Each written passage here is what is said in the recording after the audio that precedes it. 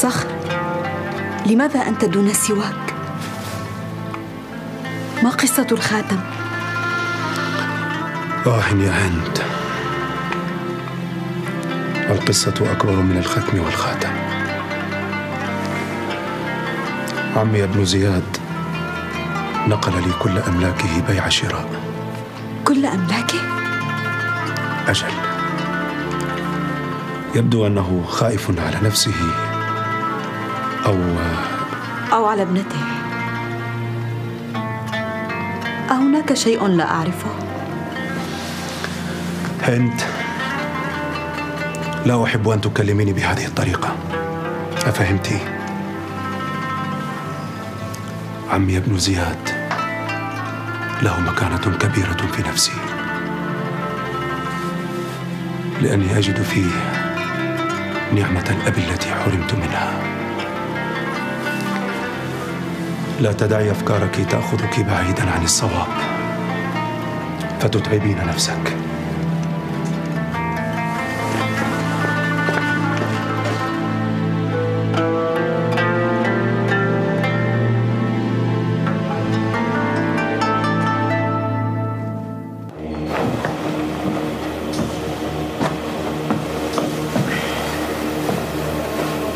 أين سيدتك؟ اطمأنت على سيدي ثم ذهبت لتنام هل تريد مني شيئا يا سيدي؟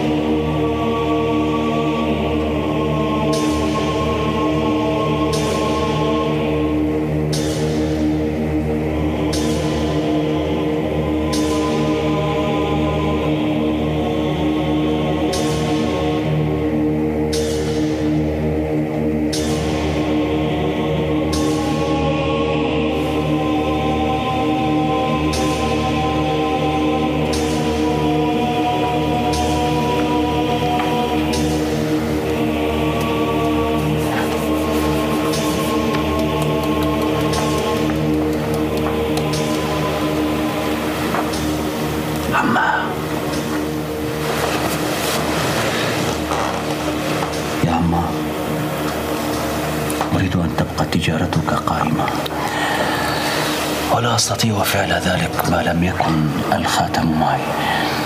أريد أن يبقى اسمك كما كان في السابق في السوق. اسمع يا طلحة. اسمع جيدا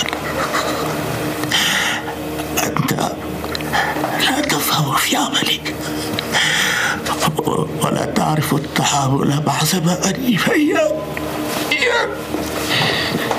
كيف يا عماه وأنا وأنا ابن أخيك وزوج ابنتك فإذا كسدت تجارتك فماذا سترث زينب؟ يا عماه دون أخذ ورد أريد الخاتم. لا خاتم لك عندي لا خاتم. اغفر لي يا عماه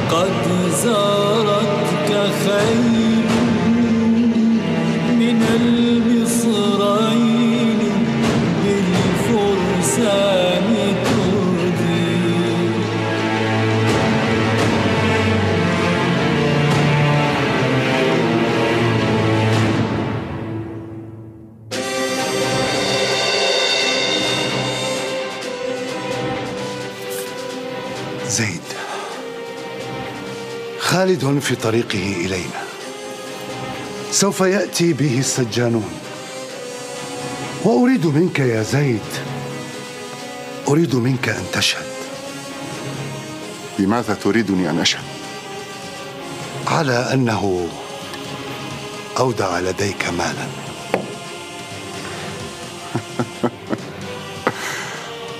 يودع لدي مالا وأنا عدوه. أهلا. أهلا أيها العزيز أهلا. ما بك يا خالد؟ ما بك. هل مسك الضر؟ خالد لقد رأينا نقصا في دفاترك وتبين لنا أنه لا أمانة عندك. أخسأت لو لم أكن أمينا لما وليت عشر سنوات كنت مخلصا لهم فيها وفيا لمن ولاهم وعدوا لمن عاداهم أيقال هذا لمثلي؟ حسبك يا خالد حسبك. كفى تشهد لنفسك بما تريد؟ أما نحن فنعرف أنك استودعت مالا لدى.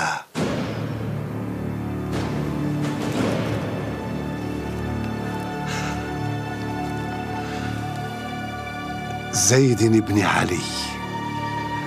ما الذي تهذر به يا هذا؟ خالد خالد. تأدب يا خالد. واحترم أميرك. وكيف أستودع مالا عند زيد؟ والقاصي قبل الداني يعرف ما بيننا من عداوة. هلا فكرت بذلك؟ إذا فقد اتفقتما على هذا. بل هذه هي الحقيقة التي يشهد بها أهل الكوفة. أهل الكوفة.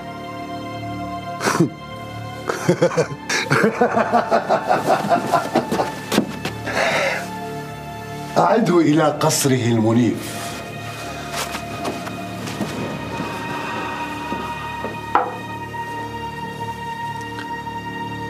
أما أنت يا زيد فلك عندي رسالة من أمير المؤمنين هشام بن عبد الملك. اسمعها أظنها ستعجبك.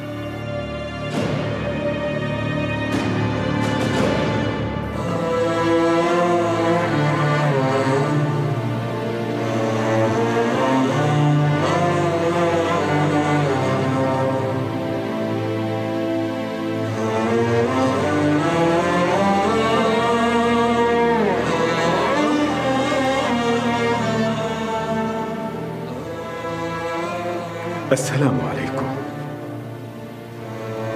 وعليكم السلام يا جابر. تفضل.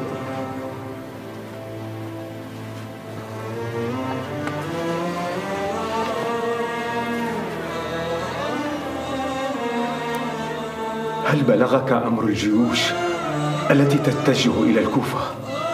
نعم يا جابر. ما أسرع ما تهيأ هؤلاء. لقتال حفيد رسول الله. أتأمرنا بشيء يا سيدي؟ ليس لي من الأمر شيء. يا جابر لولا ما قضى الله تعالى علينا من التسليم لما ورثناه من آبائنا ألا يخرج خارج بعد الحسين لما منعني عن جهادي إياهم مانع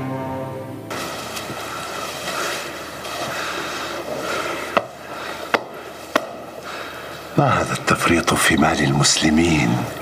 يا ابن ال... يا ابن الكاهن. أتعيرني بنسبي يا ابن الخمار؟ بنسبي. ما كان أبوك وجدك أصحاب حانة في الطائف؟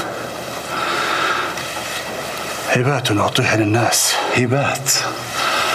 تجود بمال غيرك ها؟ هلا جدت بمالك.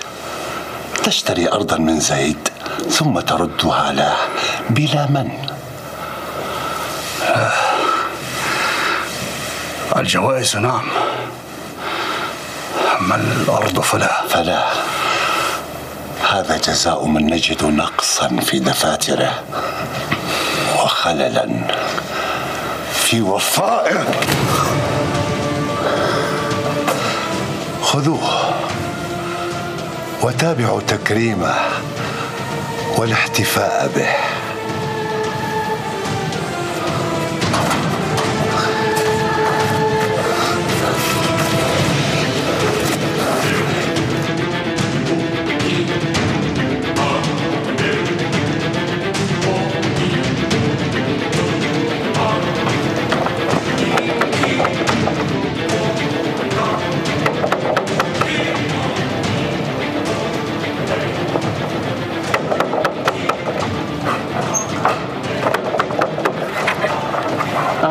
عيسى بن إدريس؟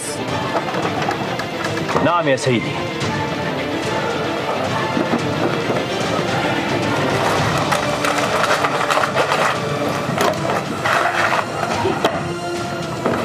ومن أنت؟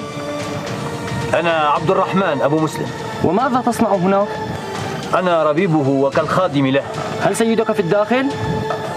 نعم يا سيدي لحظة يا سيدي كي أهيئ لكم الطريق أنت عيسى؟ نعم أنا عيسى. خذوه. خذوني معه يا سيدي. خذوه.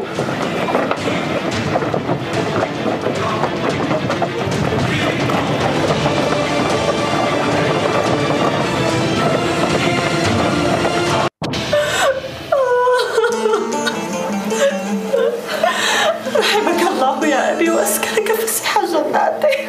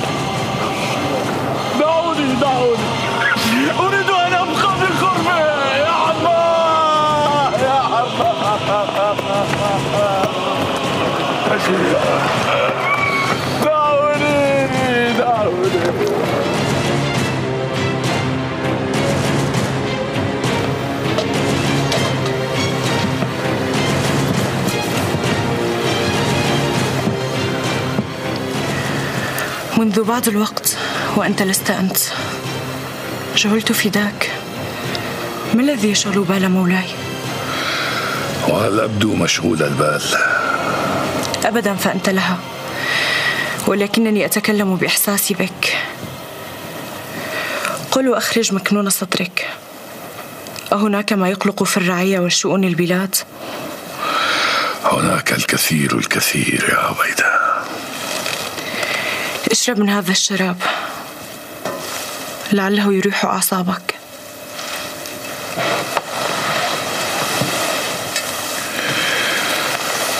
سلمت يداك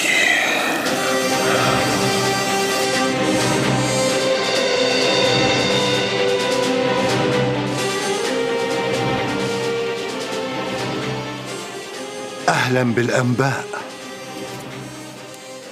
متى سيخرج وأين؟ سأعطيك خبر رجلين يعرفان ساعة خروج زيد يا أمير.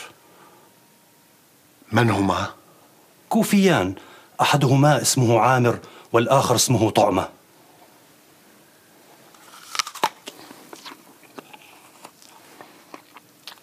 علي بهما الآن. سأستخرج منهما كل شيء بأي طريقة. يجب أن نفرق جمع هؤلاء المردة استعن بمن شئت ومتى شئت. المهم أن نفرق بينهم.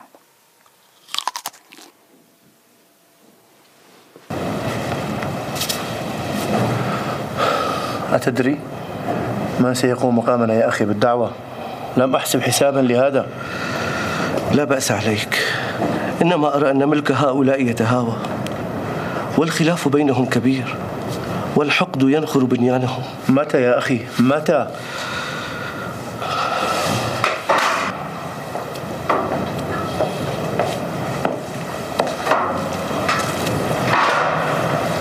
هذا طعام جاءكم به عبد الرحمن. شكرا لك.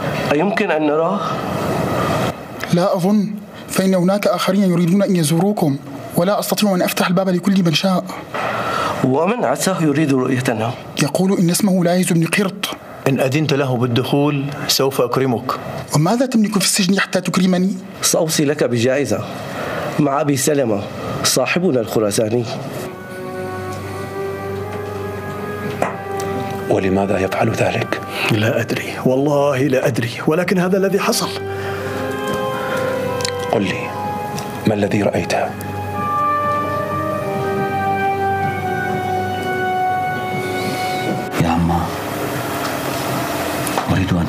تجارتك قائمة. ولا أستطيع فعل ذلك ما لم يكن الخاتم معي. أريد أن يبقى اسمك كما كان في السابق في السوق اسمع يا طلحة. اسمع جيدا أنت لا تفهم في عملي. ولا تعرف التحامل مع زماني فإياك إياك كيف يا عماه؟ وأنا وأنا ابن أخيك وزوج ابنتك. فإذا كسدت تجارتك فماذا سترث زينب؟ يا عماه دون أخذ ورد أريد الخاتم. لا خاتم لك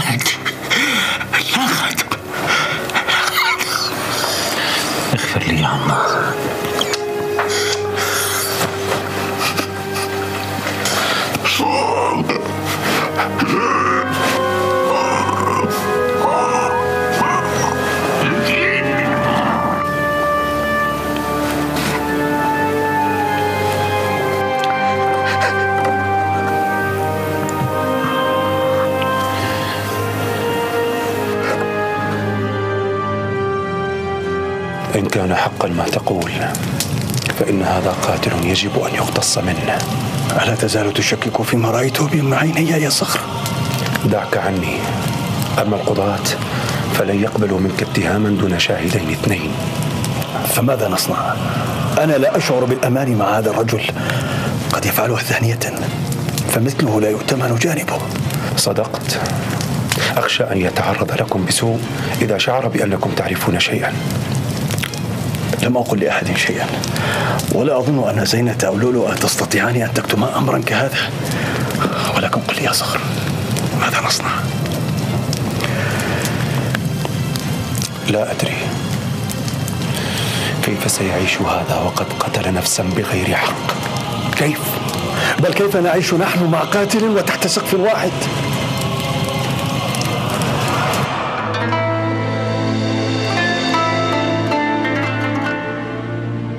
ما خير العمل؟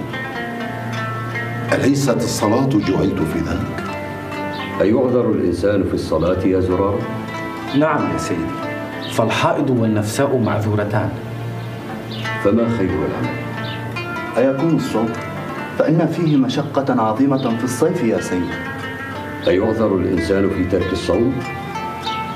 في السفر أو في المرض والشيخوخة الجهاد يا سيدي فما أصعب أن يكون الإنسان تحت ضرب السيوف وطعن الرماح أيعذر الإنسان في الجهاد؟ نعم يعذر وكذلك الحج يا ابن رسول الله يعذر فيه غير المستطيع والزكاة يعذر فيها الفقير فما هو خير العمل يا سيدي؟ بني الإسلام على خمس إقامة الصلاة وإيتاء الزكاة وحج البيت وصوم شهر رمضان والولاية لنا أهل البيت. فجعل في أربعة منها رخصة ولم يجعل في الولاية رخصة. من لم يكن له مال لم تكن عليه زكاة. ومن لم يكن له مال فليس عليه حج. ومن كان مريضا صلى قاعدا وأفطر شهر رمضان والولاية صحيحا كان أو مريضا أو ذا مال أو لا مال له فهي لازمة. وأي شيء من ذلك أفضل؟ الولاية أفضل لأنها مفتاحهن.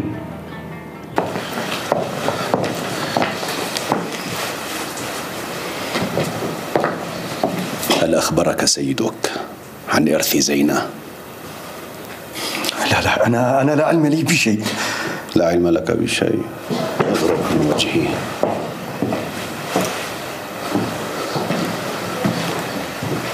زينة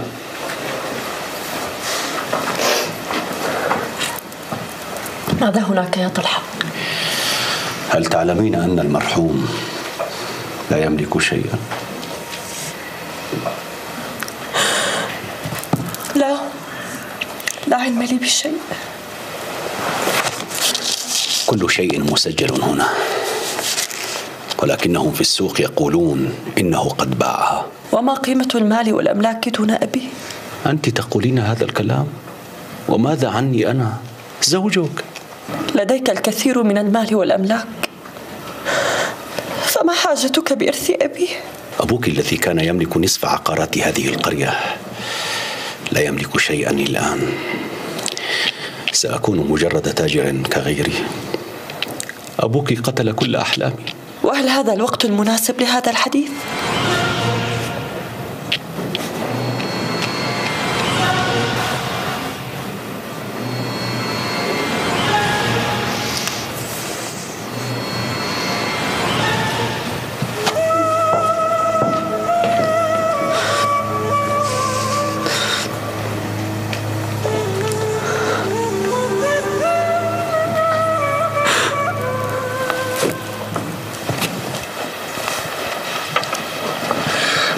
حالك اليوم يا عبيدة؟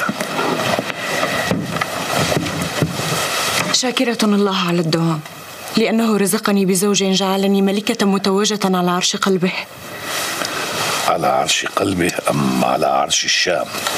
يكفيني ملك محبتك ألا تريدين لهشام أن يأخذ قسطا من الراحة؟ لا هل انهار عرش الحب بهذه السرعة؟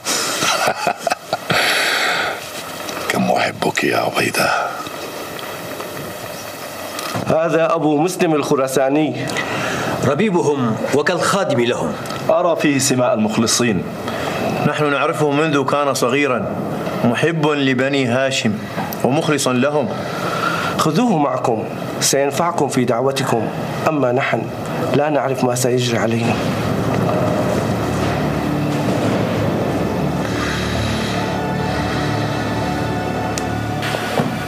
أتحفنا أيها الحداد. ما السبب الملح لقدومك إلينا؟ هذه أملاك ابن زياد.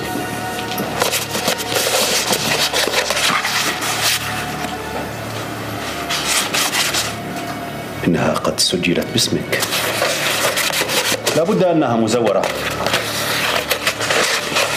لقد أمرني المرحوم أن أغير كل هذه الصكوك لتكون باسمي لكنها ليست لي حقيقة إذا هي لمن؟ لمن؟ لابنته وورثته وستأتيها أجرة الأملاك في نهاية كل شهر بإذن الله بسجل يحفظ حقها وحقي أي سخف هذا الذي تتلفظ به؟ هذا ما أراده المرحوم وقد كان رجلا رشيدا وتاجرا حكيما. وإذا أرادت أن تبيع هذه الأملاك؟ إنما لها حق الانتفاع بالأجرة فقط. وهل قال لك هذا بالتحديد؟ لا. هذه مني.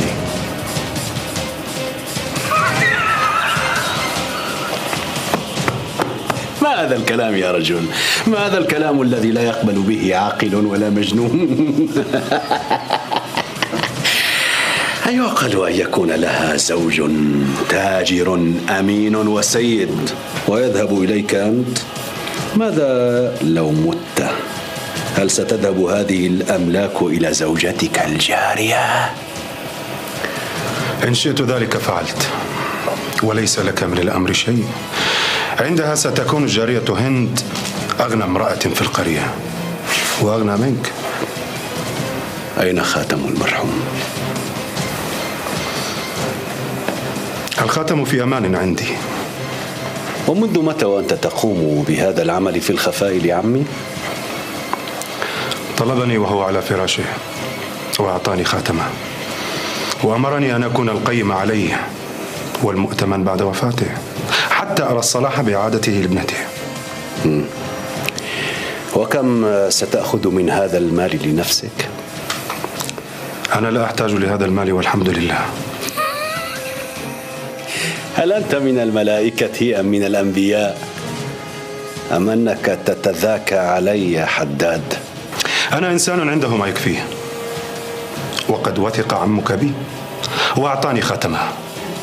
ليقوم بما عجز عنه غيري. يا زينب لقد أمرني أبوك أن أفعل ما تشائين أنت بهذه الأملاك. إن شئت بعتها وإن شئت تركتها على حالها. ولكن لا. أنا الآن قد قررت أن أوقي هذه الأملاك تحت تصرفي. وأعطيك ما يرد عليك من أرباحها فقط. ولكن لزوجها رأي آخر. لا قول لأحد بعد قولي.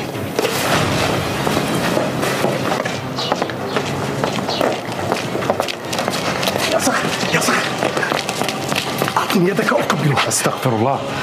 ما بك يا زهير؟ جعلنا الله فداك. لقد أخرجت ما في صدورنا. أنا لم أفعل شيئا. كل ما قلته كان حقيقة. بل قلت وفعلت وأدخلت السرور على قلبي. لكنك لم تجبه.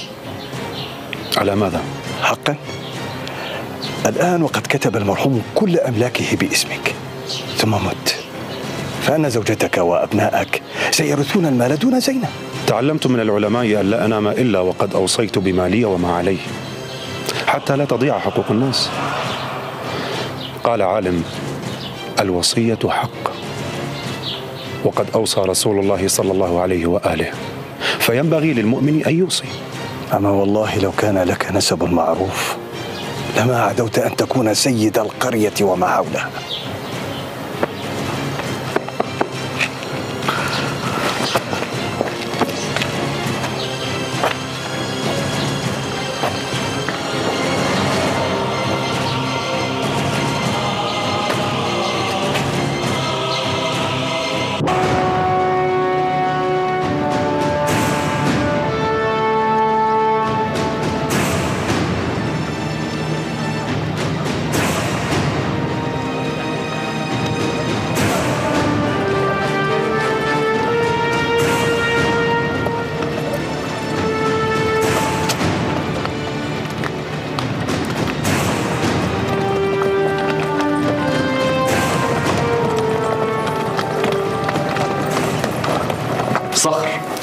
يا أخي.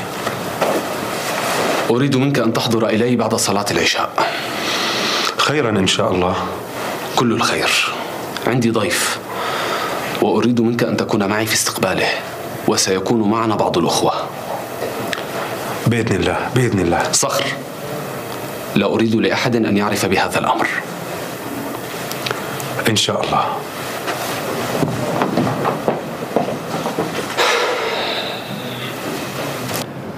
ما تقول في الإمام الصادق يا أبا الحسين؟ إن جعفر بن محمد إمامنا في الدنيا والدين. ولا يخفى عليكم ما يفعل بنو أمية في السجون من التعذيب والتنكيل. فوالله لا آمن على نفسي ولا عليكم. وماذا نصنع يا أبا الحسين الآن؟ وقد تواعدنا مع القوم. سنخرج قبل موعدنا حتى لا يدركنا جنود هشام.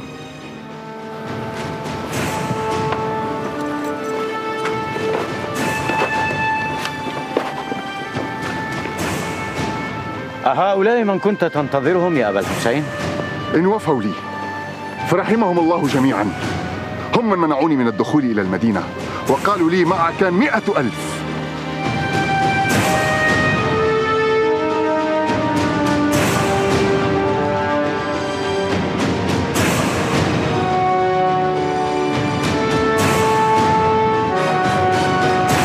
كلكم تعرفون ظلم آل أمية.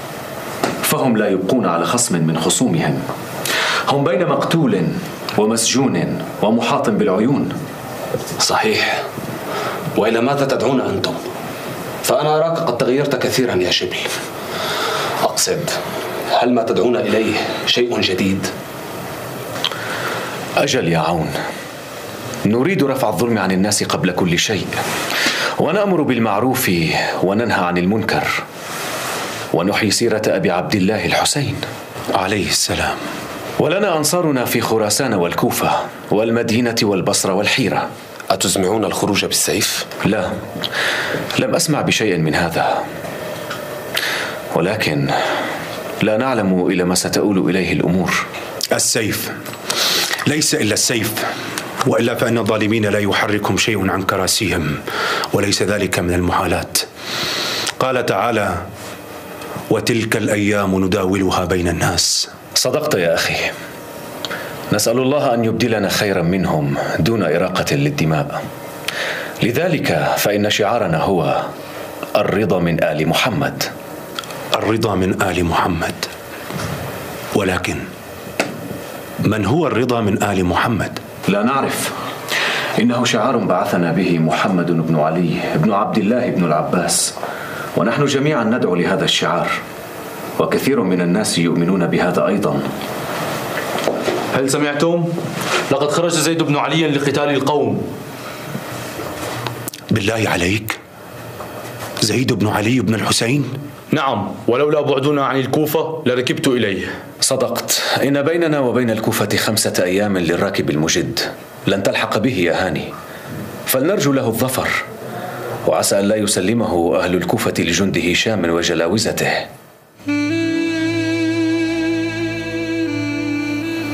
لؤلؤة نعم يا سيدتي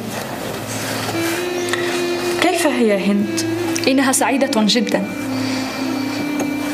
أتحب زوجها؟ نعم كثيرا وهو يحبها؟ أظن ذلك يا سيدتي. فإنه رؤوف بها. لا يقبح لها وجها ولا يشتمها. وأنت يا سيدتي كيف تصفين حالك؟ فإني لا أراك تتكلمين لا تذمين ولا تمدحين. أو أشكو لك أم لزهير؟ كيف وأنتما تذوقان مرارة الحياة مثل ما تلحى وماذا عن الإنجاب؟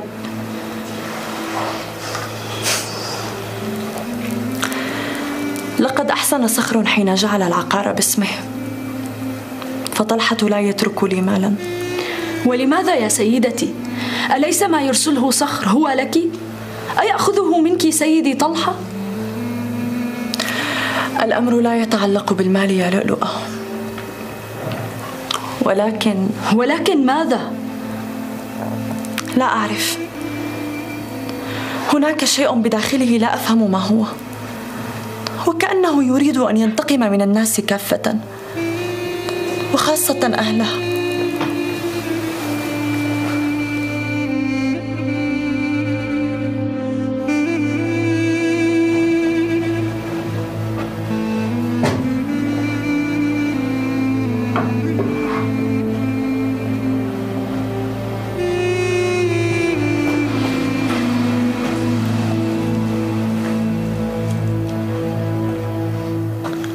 هو تكليفي الآن. هذا زيد بن علي يخرج وأنا بعيد عنه. أباه كم كنت مشتاقا ليوم يخرج فيه آل علي على هذه الشجرة الملعونة في القرآن. أقتلع جذورها وأقطع أغصانها وأكون نصيرا لهم وشهيدا بين أيديهم.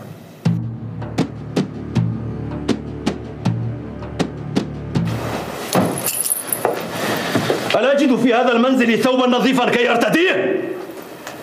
ولماذا تصرخ هكذا؟ أتراني جارية عندك؟ أجل أنت جارية وخادمة عند سيدك طلحة ما بك؟ لما تنظرين إلي هكذا؟ اذهبي واحضري لي ثوبا يليق بي أمام التجار هيا هيا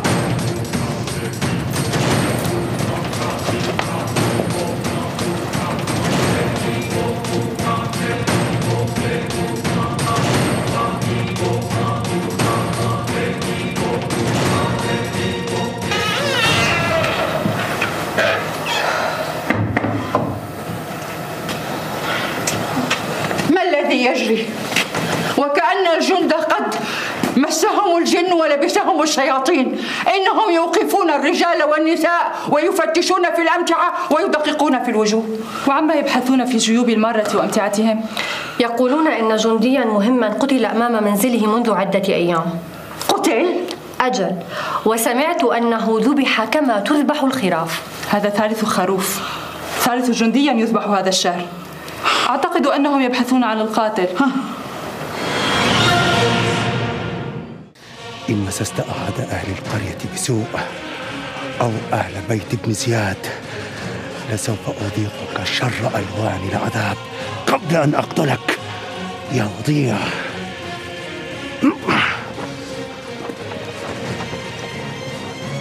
كيف يا أبا الحسين؟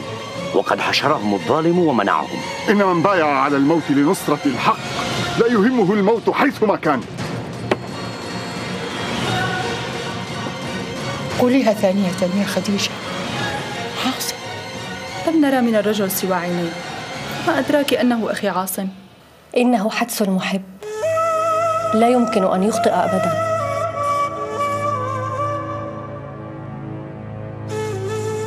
سيفعلها أهل الكوفة ثانية. الحسين عليه السلام وحيدا في مواجهة جيش ابن زياد وأنا الآن أسير بيعتهم. جعلت فداك. والله لا أخشى الغدر أو الموت وسأقاتل بسيفي هذا معك حتى الموت. قد تخطئ العين يا خالة لكن القلوب لا تخطئ. لقد جعل الله بينها سواق جارية لا تنقطع. أين كنت تخبئين هذا الكلام أيتها الماكرة ها؟